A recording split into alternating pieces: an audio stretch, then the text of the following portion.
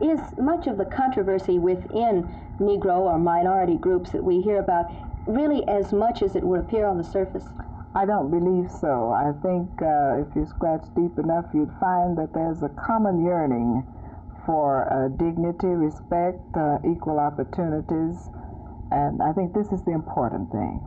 Do you think that your ethnic ties are closer than the class distinctions would present them to be? Well, being a black woman, they'd have to be, because regardless to my social status, uh, I can never forget, or I'm never allowed to forget, that I'm a Negro in this American culture. Is your Negro Heritage series of booklets that you're putting out kind of a complement to the black society movement?